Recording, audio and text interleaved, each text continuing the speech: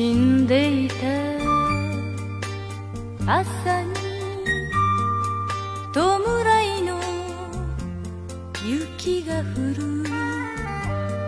はぐれ犬の遠吠え。下駄の音きしむ。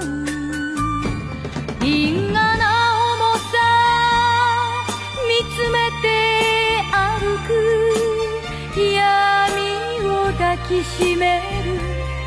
蛇の目の傘ひとつ。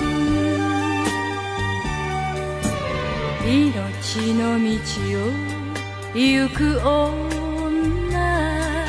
涙はとに捨てました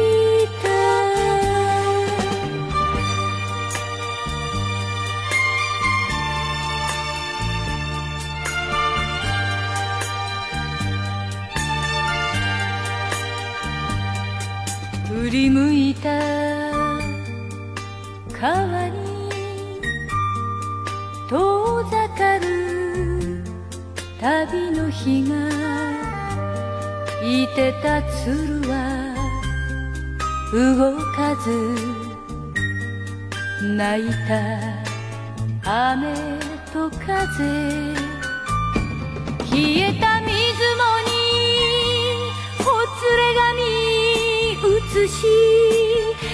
涙さえ見せない。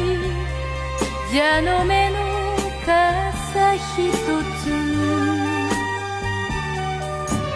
恨みの道を行く女。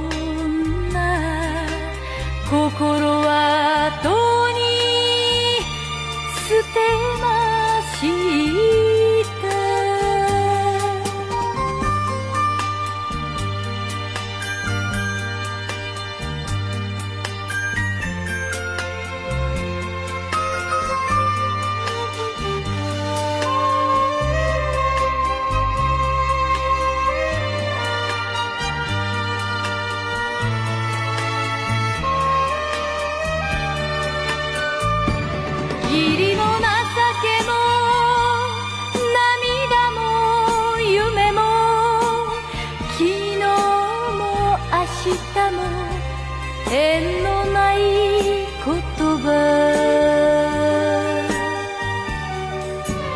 恨みの川に身を委ね女はとに捨てない